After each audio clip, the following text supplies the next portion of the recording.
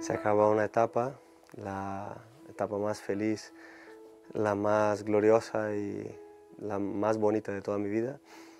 Ha llegado el momento, es muy difícil decir adiós, pero, pero sabía que iba a pasar un día, ¿no? y ese es el momento. Cuando llegué aquí en 2010 el club era totalmente diferente a lo que es ahora.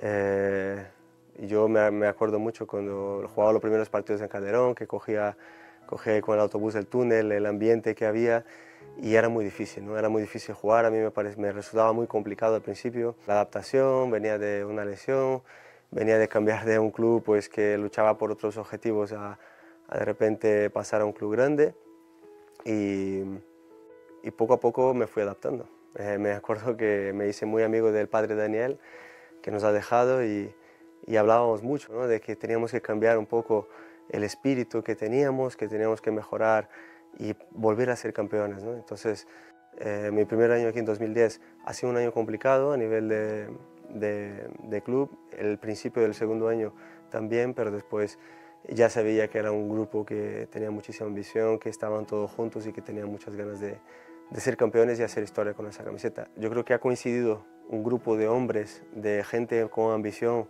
de jugadores serios, con ganas de, entrar para la historia de un club y un entrenador muy bueno, un entrenador que sabe lo que hace y que tiene muy, muy claras sus ideas.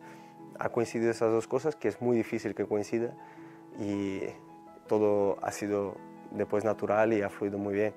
Y yo tuve la, la suerte de ayudar al equipo en el quizás el momento más eh, glorioso ¿no? que tuvo todos estos años. El momento más feliz, sin duda, de mi carrera, de mi paso por el Atleti fue la final de Copa en el Bernabéu. Nunca volví a sentir lo que sentí ese día, ¿no? Eh, cuando el autobús venía, eh, que estábamos en San Rafael y el autobús pasó la Castellana, y veía toda la gente y llevábamos, no sé si eran 15 años sin ganar al Madrid y algo tenía que pasar aquella noche y fue mágica, ¿no? Eh, ahí se empezó a notar que ese equipo a, iba a ser historia, que estábamos destinados a algo grande.